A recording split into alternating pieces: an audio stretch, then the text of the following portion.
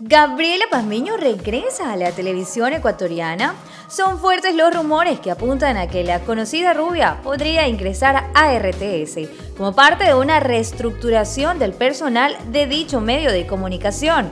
La información nace de un reconocido diario del país, donde mencionan que los directivos se encuentran muy interesados en que Pazmiño sea parte de los talentos de esa televisora, ya que su sintonía no está alcanzando los números que ellos desean. Mientras tanto, Gabriela publica muy feliz su negocio de hamburguesas en redes sociales. Negocio, no se lo voy a negar. De verdad, que estaba súper lindo, yo estaba ya de viaje, lindísimo, pero extrañaba mucho, mucho GP Burger, GP Burger. Este, bueno, tantas cosas por contarles, tantas cosas por contarles, tantas cosas por contarles. Vamos poco a poco, poco a poco porque los estoy poniendo al día en algunas cosas.